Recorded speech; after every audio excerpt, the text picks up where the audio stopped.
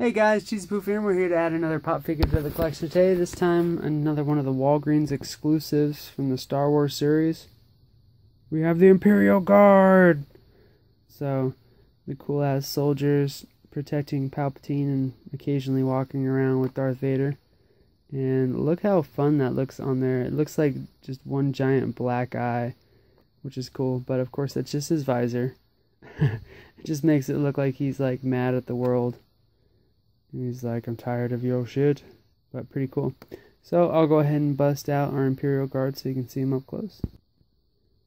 And the guard looks super, super awesome, guys.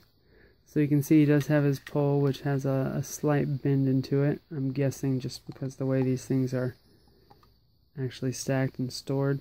The red feels a little glossy. Almost feels like something's rubbing off on my hand, which is weird. Uh, but he's got that super super shine that shimmer to it. You can kind of see it right there. Looks really really awesome. The big old black eye and just the red robe all the way around with the little Star Wars logo there.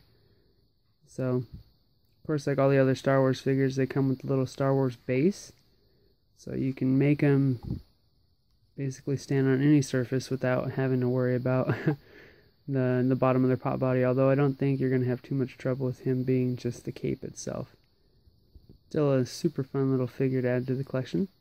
Let me know what you guys are thinking of these, and if you have any Sith Star Wars character you'd like to see as a pop. With that being said, that's it for this time. Hope you guys enjoyed, and I'll see you later.